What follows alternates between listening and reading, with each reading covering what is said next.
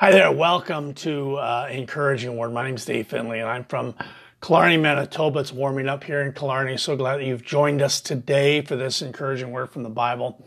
Uh, sorry, I'm a few minutes late. Um, yesterday, I talked about God seeing us always, always being on display before God, and uh, how God will sometimes hold us account, will always hold us accountable for the things that we we've done.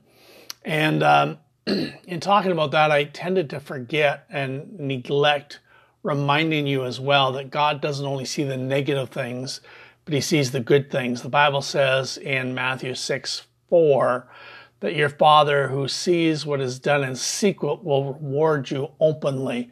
And um, we are reminded that God just doesn't look for the bad stuff that we do. God is wants to bless and wants to reward us. So I need to remind you of that. It's a secret. Uh, some people don't get it, but God says He's looking. He's keeping an eye on us. The Bible says in uh, Chronicles that His eye is looking for those who put their trust in Him, so that He can prove Himself strong on our behalf. And so I want to encourage you to um, know that God uh, is looking for you. God wants to pour out his blessings in your life. Um, have you ever heard the phrase, God moves in mysterious ways? Um, that is not found in the Bible. That's uh, from a hymn that was written by William Cowper a way long time back in about the 1700s. And uh, uh, Cowper had an interesting story, and I thought I would read it for you. This is a little different than normal what we do here uh, with encouraging word, but maybe this may be encouraging to you. Late one stormy London night in 1763, a broken man was determined to end his life. He hired a coach, a taxi, to take him to the river. Only when he cast himself into the Thames River and drowned, he thought, would his agonizing trials finally end. He was unwavering in his resolve. He stepped down from the coach and walked along the fog towards the river's edge. When he reached the shore, um, he noticed a strange man sitting there as staring at him as if on guard. Moreover, despite the rainfall, the tides were low, too low to drown a man. Returning home, the desperate man decided to poison himself with an overdose of laudanum, a potent drug derived from opium. But he couldn't raise the bottle to his lips. He tried again and again. Each time it was as if was an invisible hand was pushing it away. Finally, he tried to hang himself. The rope snapped, and as a housekeeper rushed in, responding to the noise, the man gave up. For reasons he could not conceive, the life that brought such despair and misery could not be ended. That man was William Cowper, a famous English poet. It had not been the first time that he had contemplated suicide, only to be held back by forces greater than himself.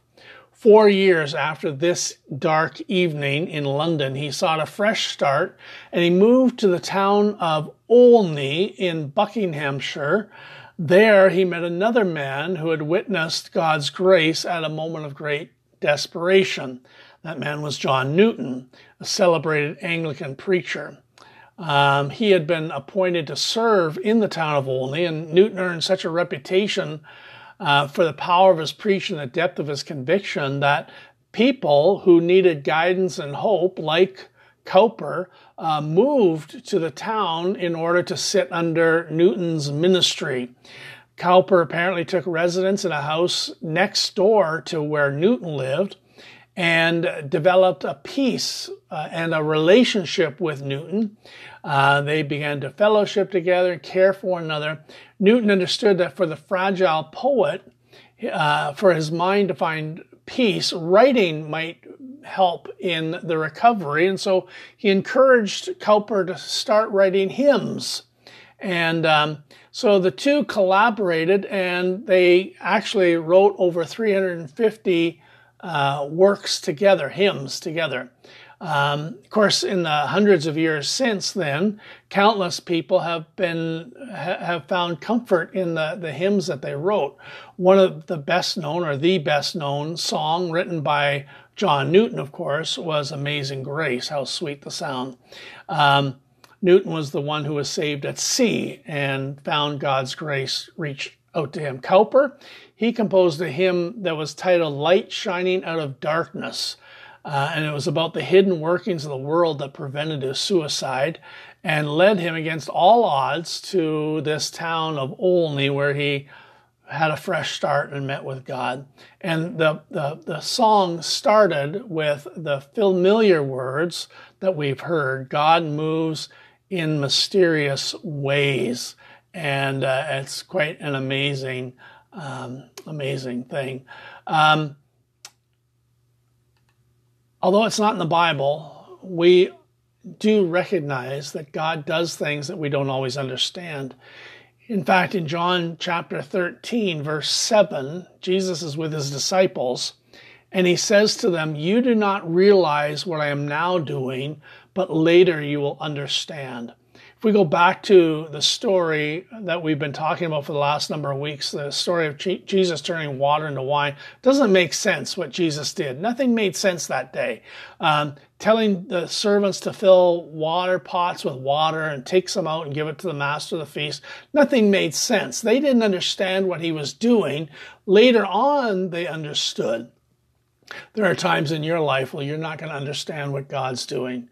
And it'll only be later on down the road where uh, God will reveal to you the significance of what he was doing and why he was doing it, perhaps. And so we just need to be reminded. I just want to encourage you today. God's at work in your life. The Bible says that he who created or began a good work in you will carry it on to completion. God's not going to leave you hanging. Uh, he's going to finish the work that he started in you. I just want to encourage you in that today. Um, God finishes what he starts. And that means he's going to continue working in your life. I trust that this is encouragement to you. Let's bow together in prayer, Father. We don't always understand what you're doing or why, but Lord, we put our trust in you, knowing that you care for us, knowing that you love us, knowing that your ways are better than our ways, your ways are higher than our ways. And so we put our trust in you, knowing that uh, what you do and what you be what you've begun to do in our lives, you will carry it on to completion. So I thank you for those uh, people today, individuals perhaps, who are just struggling right now, wondering what in the world you're doing or why you're doing it. Father, may we have a sense of peace, knowing that you're in control, knowing that you are aware, knowing that you fully know what you're doing. And so we pray, God, that we can have a peace and just uh, settle in to trust in you and believe in you and uh, doing the things you tell us to do, even though they don't always make sense. So I thank you for your word today. Thank you for your people. And I pray your blessing upon them today. May this be a day of encouragement. May this be a day of hope. May this be a day when some of the clouds of mystery are parted and we see that God is actively involved. In your name we pray and ask these things. Amen. Hey, thanks so much for watching. A little different today. Um, encouraging word, but I trust it has been encouraging to you. God willing, we'll be back tomorrow for another end of the week um, uh, session, and we're, we're looking forward to seeing you. God bless you. Have a great day.